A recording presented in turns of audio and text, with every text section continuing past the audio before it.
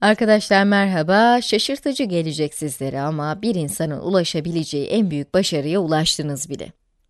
Nedir bu başarı? Tabii ki dil gelişiminizdir.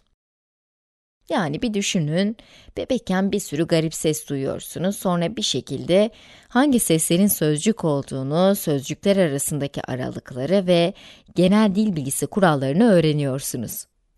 Ve bunları herhangi bir resmi eğitim olmaksızın uygulamaya başlıyorsunuz. Gerçekten bu muhteşem bir şey. Doğal olarak bu yeteneğin nasıl geliştiğini anlamak için birçok araştırma yapıldı. Bu videoda dil gelişimine dair üç ana teoriden bahsedeceğim sizlere. İlk olarak nativist, yani doğuştancı bakış açısını inceleyelim.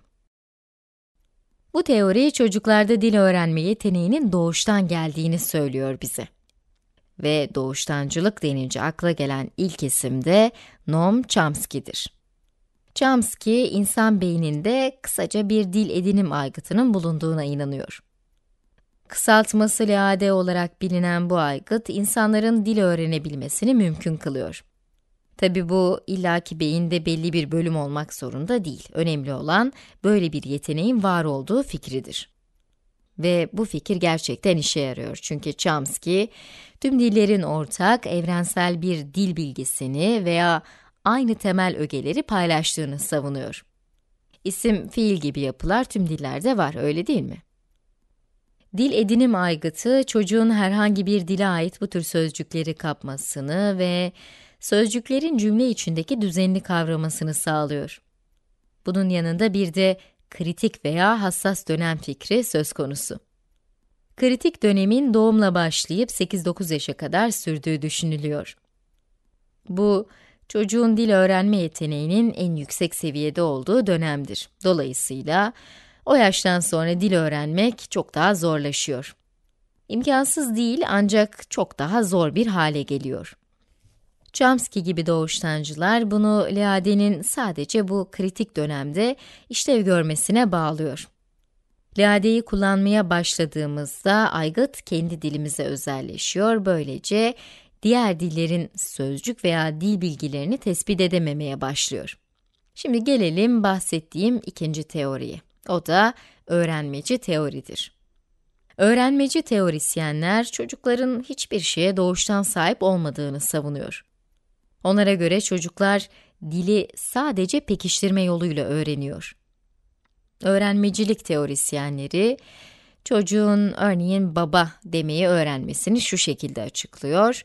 Bebek baba sözcüğüne yakın sesler çıkarttığında mesela bah bah dediğinde baba hemen gülümsemeye başlıyor ve çocuğa sarılıyor.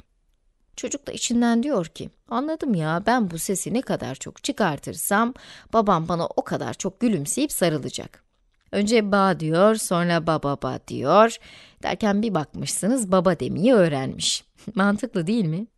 Ancak katı bir öğrenmeci teori, çocukların daha önce duymadıkları sözcükleri nasıl uydurabildiklerini veya nasıl sıfırdan cümle kurabildiklerini açıklamakta yetersiz kalıyor.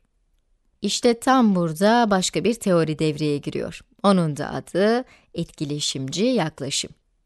Bazen toplumsal etkileşimci yaklaşım da deniyor buna çünkü bu yaklaşımın teorisyenleri çocukların bir dili öğrenebilmesi için biyolojik ve toplumsal etkenlerin etkileşmesi gerektiğine inanıyor. Onlara göre çocuklar başkalarıyla iletişim kurmak yönünde büyük bir istek duyuyor. Mesela çevrelerindeki yetişkinlerle. Ve bu istek onları dil yoluyla iletişim kurmayı öğrenmeye güdülüyor. Bu düşünce ekolünün en önemli kuramcısı Vygotsky'dir. Vygotsky, çocukların gelişiminde toplumsal etkileşimin önemini en ateşli savunanlardan biriydi.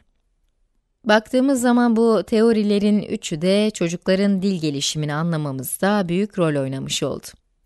E artık bir bebek gördüğünüzde hayranlık duyarsınız değil mi? Çünkü gerçekten büyük iş başarıyorlar. Bir sonraki videoda tekrar görüşmek dileğiyle arkadaşlar. Hoşçakalın.